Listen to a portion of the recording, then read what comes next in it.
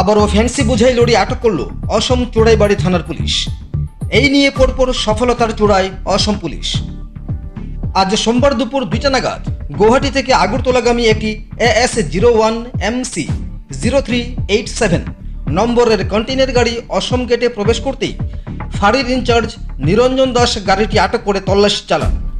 আর তাতেই ক্যাচো খুঁড়তে সাপ বেরিয়ে এলো। লড়িতে অনলাইন সামগ্রীর ভেতরে এই ফ্যান্সি ডিলগুলি লুকায়িত অবস্থায় ছিল। দশ কার্টুনে মোট দুই হাজার বোতল ফ্যান্সি যার কালোবাজারি মূল্য দশ লক্ষ টাকা বলে জানান থানার ইনচার্জ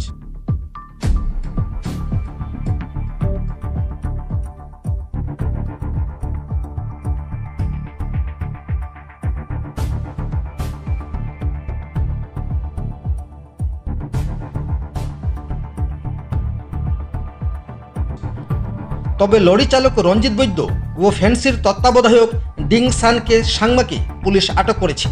তাদের বিরুদ্ধে এনডিপিএস আইনে মামলা রুজু করে আগামীকাল করিমগঞ্জ জেলার আদালতে সোপার্দ করা হবে।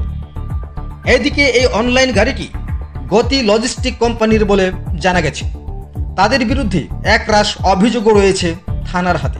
একাধিকবার গতি লজিস্টিকের ফ্যান্সি বোঝাই গাড়িগুলি অসম পুলিশের হাতে ধরাও পড়েছে। এবারও তার কোনো প্রকার ব্যতিক্রম হয়নি।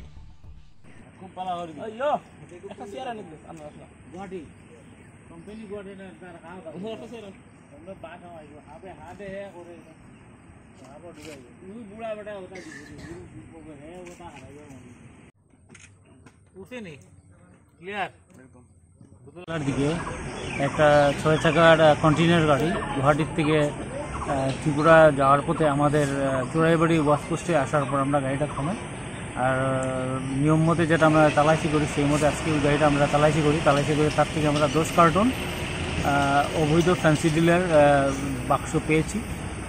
তাতে দু হাজার বোতল ফ্যান্সি ডিল ছিল। আর দুজন তার ড্রাইভার এবং শহর ড্রাইভার তাকে আমরা করায়ত্ত করেছি আর এনডিপিএস এক মধ্যে একটা কেস রুজু করেছি।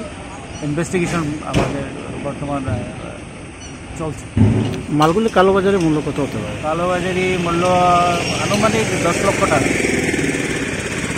কোথা থেকে আসছিল গাড়িটা?